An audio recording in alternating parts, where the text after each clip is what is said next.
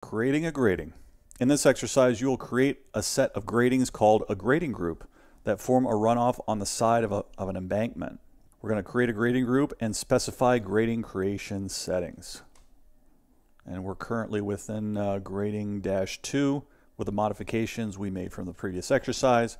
And then we'll just go into the Home tab, the Create Design panel, go under Grading, then Grading Creation Tools.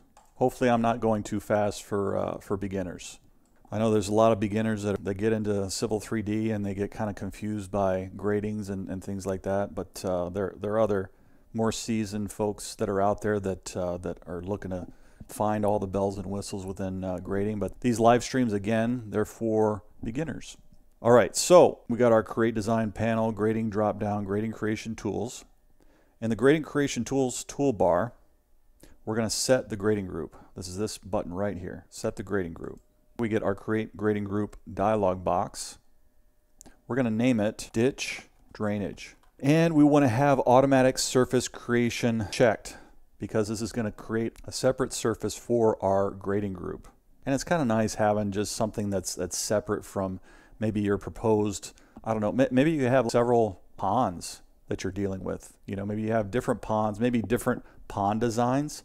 And it's kind of nice having the automatic surface creation to where you have a separate surface that gets created that just doesn't get just put into maybe your proposed surface because maybe you want to make changes to your proposed surface.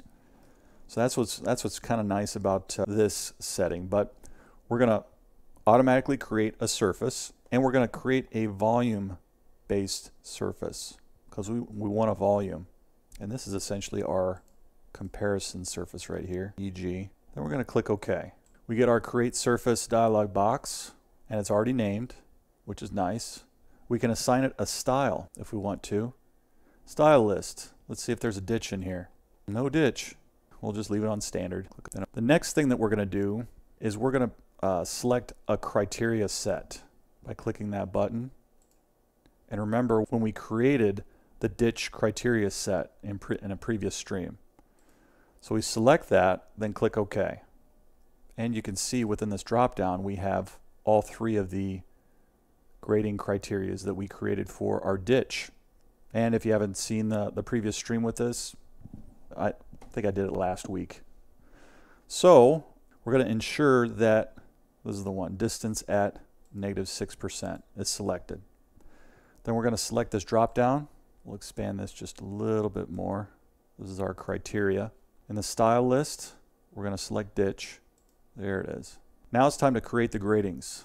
And we do that by clicking this button here. Now our command line is asking us to select the feature line. We're going to select AB. And we're going to select above the feature line to select the grading side. So we're, we're basically telling um, Civil 3D that we're, we're going up and away from, uh, from this feature line. And you'll see what I'm talking about in a second. Click over here, the entire length. Yes, we do want that. And now it's asking us to specify a distance. How far do we want to go with this grading? We're going to keep the distance 10 feet. I believe that's even assigned right here in our grading criteria. So it, it's already specified, but it is unlocked. So if you want to change it, you can go ahead and change it if need be. So the distance is 10. I'm going to accept that and you can see what happens. We get this little graphic right here that shows us our grading. I'm going to press escape to exit out of the command. But whenever you have a grading, if you're new to Civil 3D, if you don't know what a grading is, if you see something kind of weird that has a diamond shape in the middle of it, that's a grading. Plus you can also see by selecting this little symbol here and you can you can see that it's a, it's a grading. If I zoom out, let's see what happens if I zoom out and do a regen. It'll still show up. From way out here, if I do a regen all, you can still see that grading diamond. So that's nice. If I do a regen all, once again, that diamond gets smaller. And this white line is our original feature line. If I'm trying to select my feature line, when I click on it, I'm getting the grading. But I don't want the grading. I want the feature line. If I right click and select, I'm going to send the grading to back. Now when I select that feature line, oops, it's not what I want. Now it's selecting the, uh, the TIN surface. I don't want that. Send it back. Now it's giving me the feature line. How far out am I on this grading? Do you remember what that number was? If I do a distant, if I do a, uh, I'm gonna move this off to the side for a second. If I go to annotate linear and go from, I don't know, here, perpendicular to this line, it's about 10 feet. Distance from here, perpendicular, about 10 feet. Why is it not giving me that line dimension from here to here? There we go.